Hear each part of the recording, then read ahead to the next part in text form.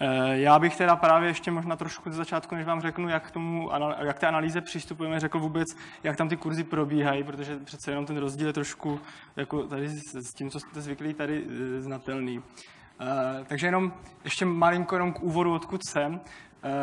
Teda jsem z Knowledge Media Institute, který je, je vlastně takové vědecké oddělení na Knowledge, teda pardon, na Open University v Milton Keynes. A to já si myslím, že jako nikomu moc neřekne to město, ale je poměrně zajímavé tím, že uh, jeho součástí je nebo na jeho území leží Bletchley Park, což je eh, poměrně známé oddělení z druhé světové války, kde Alan Turing ze svojí, nebo ne ze svojí, ale prostě se, s další skupinou Codebreakerů luštili eh, nejenom německé šifry. Čili já jsem si připravil takovou trochu takovou srovnávací tabulku uh, s typickou, no s typickou, no prostě s jednou z, uh, ze škol, která je tady uh, z České republiky. Tím, že jsem studoval tady na FITu, tak rozhodnutí bylo poměrně jednoznačné, co si zvolím. A ještě jsem přidal prostřední sloupec vlastně nejznámější současnou platformu pro online kurzy, to je Coursera, jak tady eh, mi už uvedla, tak v podstatě ano, to distanční vzdělávání je charakteristikou Eh, Open University jediný eh, studenti, které tam v kampusu potkáte, jsou doktorandi. A v podstatě od toho se odvíjí ta velikost. Oproti 20 tisícům na VUT eh, studuje Open University z roku 2013 více než 200 tisíc studentů. A i ta charakteristika těch kurzů je poměrně odlišná, zatímco tady na FITu ty kurzy mývají typicky 10 kreditů a 13 týdnů, na Courseře je to někde mezi 4 až 8 týdny, tak tam má typický kurz 60 kreditů a táhne se přes více než 30 týdnů. Uh, podobné je to i vlastně s tou uh, velikostí, s počtem studentů v tom kurzu. Uh, co nás zajímá je hlavně to, že jak ti studenti se jsou schopni vlastně v tom kurzu udržet. Eh, samozřejmě na, te, na, na Courseře tam se často přihlašují lidi, kteří vlastně ani nemají ten cíl, ten kurz dokončit, takže ta, jako, eh, tady je ta eh, šance to, nebo ta statistika toho udržení menší než 13%. Za mých dob studia na FITu, když jsem se tak díval do tak ve všech, skoro ve všech, až na pár výjimek, to bylo více než 70% ta úspěšnost předmětu. A na, tom, na Open University je to jako velmi proměnlivé, ale začátku to je jako pod 50%. A když to vezmeme v kombinaci s tím, že jak na Coursera, tak tady v České republice jste schopni se vzdělávat zadarmo, tak tady tenhle ten kurz v přepočtu stojí asi 90 tisíc korun, tak jakékoliv udržení toho studenta nejenže jakoby se plní tam myslím nějakého vzdělání, tak je to i finančně zajímavého takového studenta udržet.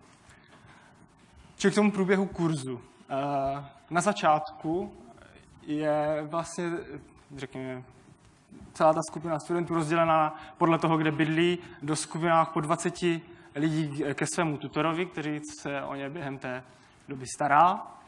A ve chvíli, kdy začnou studovat, tak používají buď nějaké offline zaslané materiály, to můžou nějaké knížky, anebo, a to zejména, interagují v takzvaném VLE, což je Virtual Learning Environment. Je to prostě jenom Moodle. a dřív, jakože ono to tak jako zní zajímavá, prostě Moodle to asi, myslím, že jako budou znát všichni. A dříve než dojdou k závěrečné zkoušce nebo projektu, která vlastně určí o jejich finálním úspěchu nebo neúspěchu, tak v průběhu ještě skládají sérii takzvaných TMA, Tutor Mark Assignments, což jsou vlastně jenom něco jako průběžné zkoušky. Ono se to asi hodně špatně překládalo. Uh, samozřejmě ti studenti neodpadnou až nakonec, ale odpadají v průběhu. A od toho právě tam je ta skupina těch tutorů, kteří, se, kteří na nimi nějak jako dohlíží a snaží se zjišťovat, jestli třeba někdo v tom problému nemůže být. A v takovém případě oni uh, buď můžou sami, anebo využívají uh, student support týmu k tomu, aby prováděli takzvané intervence, což je vlastně nějaký kontakt, ať už buď e-mailem nebo často telefonem, kdy oni mu volají tomu studentovi, zjišťují, jestli v nějakém problému není a jak by mu mohli pomoct. A pak, když je v tom problému je, tak jak ho zase vrátit jako zpátky do hry. Uh,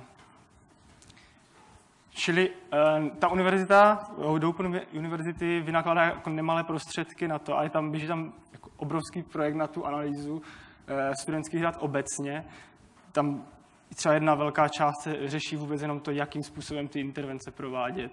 Další část zabývá ethic policy, to znamená, jako, co vůbec je dovoleno těch studentech sbírat a tak dále. E, naše úloha spočívá právě v tom, že využíváme e, techniky machine learningu, strojového učení k tomu, abychom e, ty studenty na základě nějakých vstupních dat identifikovali a to tady tyhle ty, to rozhodnutí potom o tom, kdo v tom průseru je nebo není, poskytli dál a to můžou být buď ti tutoři, nebo ten student support team. A vlastně v podstatě ty možnosti jsou neomezené. Tam potom taky záleží na tom, jak ta univerzita to bude chtít dále použít. Čili v, prv, v první fázi je důležité, z jakých dat teda, jaká máme k dispozici. Jsou to dvojího typu. Uh, jsou to statická, to znamená uh, demografická data, která se nemění v průběhu toho kurzu, řekněme, kde, on, kde ten student bydlí, kolik mu, je, kolik mu je let a tak dále. A pak to jsou dynamická data, ta se mění, to znamená, mám nějaké záznamy z toho, eh, co dělá v tom systému, a pak to jsou jeho průběžné zkoušky. Eh, ty data z toho eh, Moodle systému bych malinko vysvětlil jenom. V podstatě máme záznam každého jeho kliku, teda k nám se potom dostane ta, až ta sumace těch kliků pro každou stránku za den, ale to až tak není podstatné.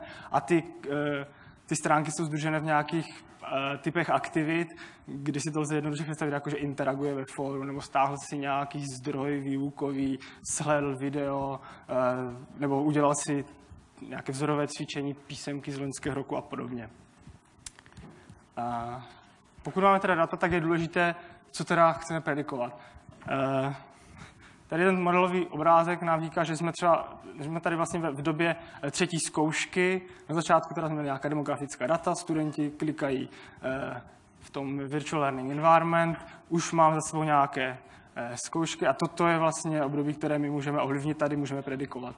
A jak ten kurz plyne, tak vlastně se ukazuje, to mám tady napsáno, že v těch pozdějších fázích je zásadním kritériem toho vlastně ty jeho předchozí, výsledky z těch předchozích zkoušek. Nicméně, když už jste tady ve třetím týdnu, nebo tady u té třetí zkoušky, pardon, tak uh, už vám do té doby spoustu těch studentů může a odpadne taky. A ono taky tím, že to je TMA, to znamená Tutor Mark Assignment, tak ono to opravení té písemky netrvá jako dva dny, ale taky nějakou dobu. Takže je prostě důležité uh, tady, tu, tady ten úspěch predikovat co nejdříve a právě je to důležité už při té první TMA, protože eh, ve, teda, tady tato statistika platí pro eh, dva pilotní kurzy, které jsme za začátku analyzovali. Tak eh, pokud ti studenti už selžou u té první TMA, tak z 95% selžou u celé zkoušky. A jak tady říkal kolega přede mnou, tak je potřeba mít na začátku nějaká označkovaná data pro tu klasifikaci a v našem případě využíváme vždycky předchozí běhy těch kurzů a ten kurz vždycky běží dvakrát za rok. Jarní a podzimní běh a e, ty běhy jsou tak rozdílné pro jeden kurz, že vždy je potřeba využívat, když třeba počítáme, já nevím, predikce pro tady jarní kurz, tak využít předchozí jarní a nikoli předchozí podzimní. Samozřejmě, když ten jeden není k dispozici, tak používáme ten druhý, ale vysvětlovali nám, jako i, že to je vlastně i vlivem tím, že eh, v tom jarním, když to, ten kurz začne třeba někdy v únoru, tak konec probíhá někdy o letních prázdninách, takže i tohle to má na to potom vliv. Eh, když máme k dispozici, teda když víme, z čeho budeme predikovat, tak je důležité nějaké čištění a integrace.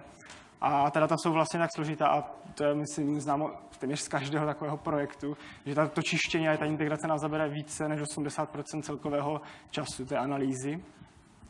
A nad takovýma vyčištěnýma datama potom eh, používáme tady tento algoritmus MRMR, eh, který nám eh, každý týden vytahuje atributy, které mají co nejvyšší relevanci a požadujeme po nich, aby měli minimální redundanci. To znamená, jako, že kdyby byly prostě nějaké dva, které mají největší relevanci a mají velkou korelaci mezi sebou, tak takové nás nezajímají.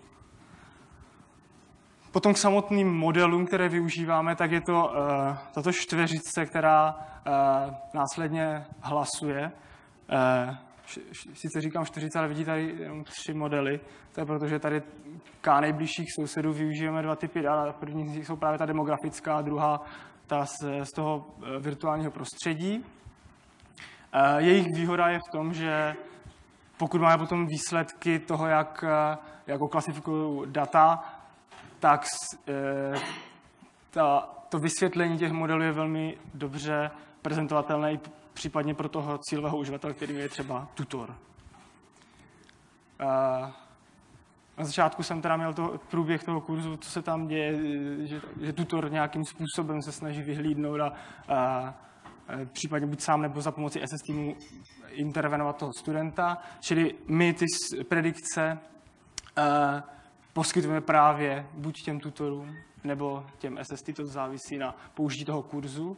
A začali jsme tak, a tady nechválně známýma excelovskýma tabulkama, nicméně ti uživatelé jsou s tím jako tak strašně zvyklí a spokojení pracovat, že jim to stačí. A v současné době přecházíme do e, toho, že máme nějaký vlastní říkáme tomu dashboardový systém, ve kterém oni budou do budoucna pracovat a ten Excel v podstatě to nahradí. E, pro jejich spokojenost tam samozřejmě máme tlačítko, kde jim ten Excel vytvoří. Čili co jsme vlastně byli schopni do, do této doby nasadit, je, že my jsme někdy začali v podstatě na začátku roku a e, po nějaké pečlivé přípravě z různých dvou oborů s poměrně vysokým počtem neúspěšných studentů e, jsme vybrali dva pilotní kurzy.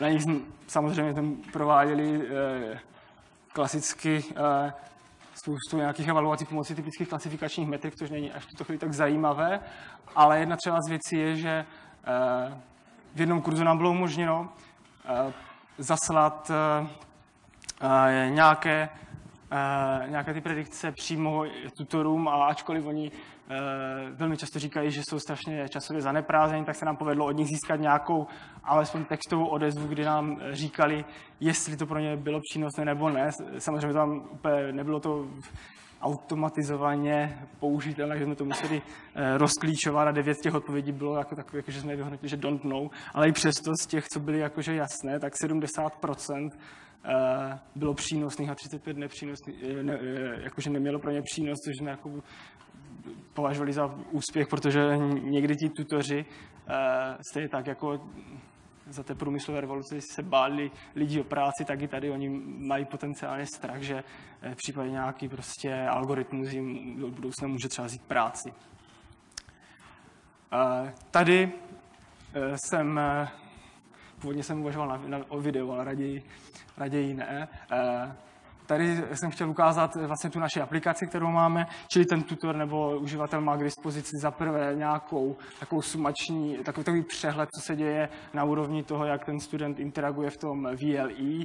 Vidí tam eh, průměrné výsledky z těch zkoušek, takže vždycky jako typický vzor, který z toho jde vyčíst, je, že před, před zkouškama vzroste průměrný počet interakce v tom VLE. Eh, pak tady je nějaký seznam zajímavých metrik, například, že klesl počet aktivních studentů, klesl počet studentů, kteří jsou v problému. No a hlavní část, která tady je, tak je tady ta tabulka, eh, která eh, říká, eh, ty, nebo vysvětluje ty predikce, nebo ty, pro každého studenta ukazuje, jestli teda je v problému nebo ne. Ukazuje nám nějaký seznam jeho předchozích výsledků zkoušek, nebo tady justification, to znamená uh, obhajoba toho, toho výsledku toho modelu. Co tady vidět není, je, že ten uživatel si může na základě toho, co ho zajímá, různě tyto data vyfiltrovat. To znamená, samozřejmě zajímá ho, já nevím, nějaký region v Anglii, pouze ženy na ty 26 let a hned si může ověřit nějakou svoji domněnku, jestli tyhle lidi jsou víc nebo nejsou. A Eh, pak si takového jednotlivého studenta může rozkliknout, kde vidí podobně jako pro ten eh, celý kurz nějakou jeho eh, charakteristiku, co teda dělá on v tom VLE, vidí nějaký jeho seznam, nebo teda nějaké jeho nějaké výsledky z těch zkoušek. A Toto je věc, kterou my nazýváme terčík a je to v podstatě ve dvou dimenzích demografických dat a VLI pro čtyři, nebo teda tady v tomto případě pro tři předchozí běhy toho a jeden teda současný běh toho kurzu vždycky nejbližší studenti podle těchto těch dvou dimenzí a uživatel si může nějakým způsobem váhovat tady ty demografické a tyhle ty eh, VLI eh, příznaky a vidí, jak se mu ten model případně může měnit. Eh, o čem jsem nemluvil před tím, co všechno provádíme, ale už to máme v podstatě ten koncept navržený, i my děláme recommender, to znamená, že sice v současné době poskytujeme těm tutorům a těm SST kteří studenti by mohli být v problému, ale zároveň my o nich víme, proč v tom problému jsou a které ty aktivity jsou důležité pro něj, které on nedělal a měl by dělat, aby se úspěšným stal. Že buď to, to může být přínosné přímo pro toho studenta, nebo potom, když ten tutor nebo ten člen toho SSP týmu jim intervenuje, tak tuto informaci může mít k dispozici a může mu to třeba výrazně usnadnit práci. Uh, snažil jsem se ještě uh, udělat nějaký feedback třeba pro ostatní, eh, s čím jsme se třeba potýkali a to by mohlo někomu být přínosné. Tak jako z pohledu té analýzy samozřejmě to je hlavní zpráva, že je potřeba odhalit ty rizikové studenty co nejdříve, protože potom už může být pozdě. Uh, druhá věc je, že neustále chodit za uživateli a prostě ptát se na jejich feedback, protože oni ta data skutečně oni je vidí, já nevím, už 10-15 let a vidí v tom to, co vy třeba zdánlivě v začátku nemůžete vidět. Uh, rychle vyvinout prototyp aplikace, aby, abyste mohli ukázat ostatním eh, vůbec, jak to funguje. Protože my třeba jsme byli nuceni, nebo teda, pardon, byli nuceni, my jsme byli, měli možnost eh, na dvou eh, výstavách a prezentacích tohleto ukazovat. A tam je spousta lidí, kteří se ohání třeba spoustou grafů a jako mluví, ale ve skutečnosti za nimi žádný produkt nestojí. A velmi potom třeba bylo rychle vidět, že ti lidi, kteří k těmhle těm, nebo ti zájemci nechodí k ním, ale třeba k nám, protože už tuhle tu chvíli my jsme měli, ačkoliv neplně funkční aplikaci, tak prostě tohle ty lidi zajímalo. Uh, teda ano, ty výstavy eh, zdánlivě, když se na ně připravit, tak vám berou čas, ale jsou výborné jako příprava nových features nebo právě ospravedlnění nějakých půlnočních prací potom. A poslední věc, z začátku je člověk strašně samozřejmě nadšený, všechno se e, rychle vyvíjí, je tam spousta nových feature, ale čím jak ten projekt potom třeba prorůstá v té, na té univerzitě eh, do více lidí, tak máte na starosti více administrativních věcí, ten tým se trošku tříští a zjišťujete, že nemáte až tak čas na vývoj. E, takže je potřeba trošku rozšíření týmu a to jsem si tady dovolil ještě jenom, e, kdyby náhodou tady já nevím teda, kolik je tady studentů, můžu se zeptat. A studentů tady z FitVUT? Jo. Děkuju. každopádně uh, FIT a Open University má uzavřenou bilaterální smlouvu uh, na Erasmus. Je to, jedná se o pracovní Erasmus a už několik studentů tam vlastně na Open University bylo. A v podstatě nabízíme i nějaké jako pracovní stáže, takže kdybyste chtěli, um, zajímalo vás eh, pracovat na nějakém projektu, který, je, který se používá eh, v praxi, nebo respektive používání machine learningových věcí pro praktické využití, tak eh, já půjdu taky na pivo do Veloroxu, takže si mi můžete najít to. Děkuji, 0 minut, to je poslední slide a není, je. Takže děkuji vám za celý náš tým a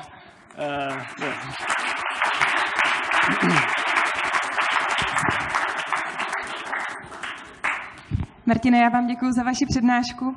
A já mám jednu takovou zásadní otázku.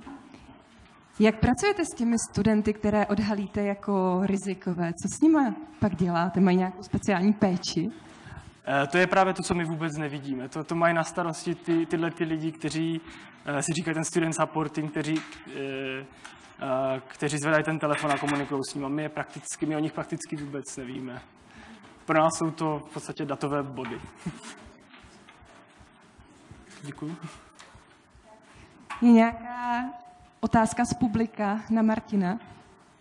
Máte někdo nějaký závěrečný dotaz?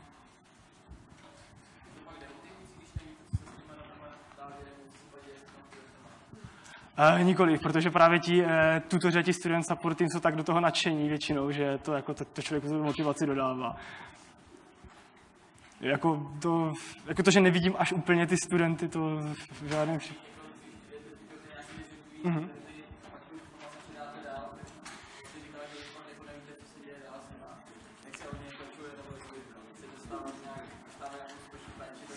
Jo. Mhm. Jo, ono to souvisí právě dost i s tím, že to, jak, jak tam probíhá ten velký projekt, kdy oni sami ještě pořád úplně nemají dodefinované, jak ty intervence budou probíhat, tak ono tohle to ještě pořád je ve, ve vývoji. Takže ono to jako pořád se vyvíjí, tohleto. Tak a úplně závěrečná otázka dnešního dne. Bude-li nějaká? Tak pokud není, tak Martine, já vám děkuju a přeju vám, aby ty další kroky právě vedly k tomu, že uvidíte, jaká má ta vaše práce, jaké má dopady a abyste viděli, že ti studenti, které odhalíte, takže právě dojdou až do konce a že to bude ta satisfakce vaší tvrdé práce. Díky, Martine.